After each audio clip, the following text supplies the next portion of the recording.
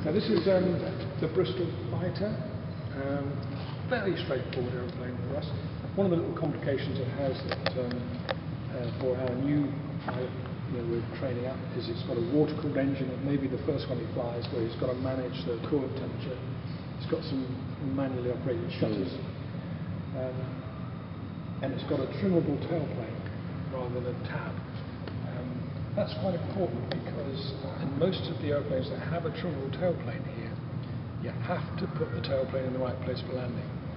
Because if you don't, you come in, you, everything's fine, you start the flare, and then the elevator hits the backstop before you're in the three-point attitude, and then you're going to have a bounce. You know, there's nothing you can do about it. so typically, you wind the tailplane fully nose up, and you push all the way down the final approach, except the push first. And then in the flare, it all comes right and land. But if you're in trim on final approach, the chances are you'll wreck the landing.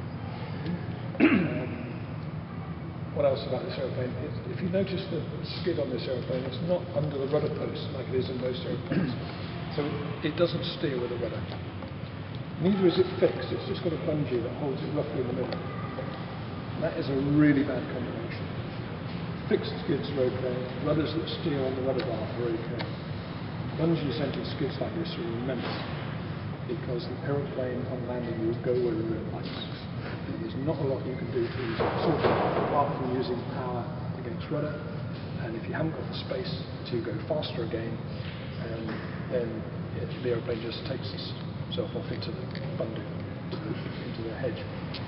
So um, we treat aeroplanes with a, um, a non-steerable skid um, with a great deal of respect. and that's why you can't operate them out of wind because you might touch down in out of wind in this aeroplane and accept a crosswind. The landing will finish up into wind. You know, and there's nothing you can do to stop